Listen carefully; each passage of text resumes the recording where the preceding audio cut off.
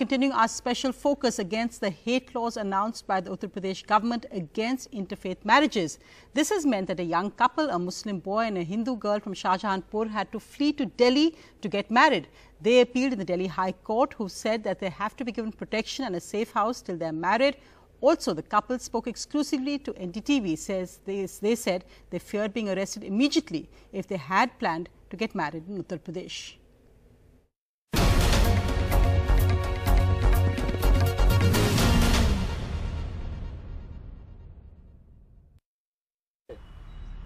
In West Delhi, 21-year-old Simran tightly holds the hand of 25-year-old Shamim.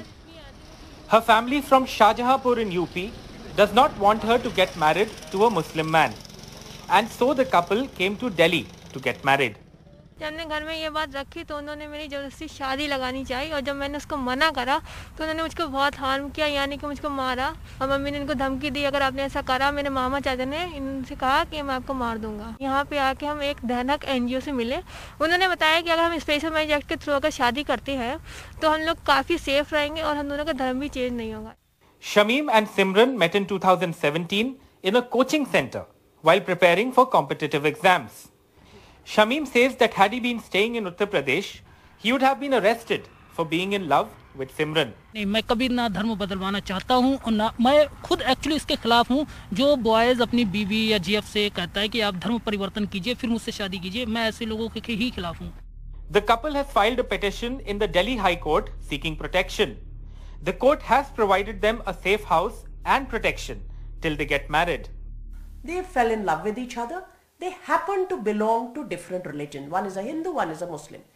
They want to marry and mind you in this particular instance, they want to marry under the Special Marriage Act.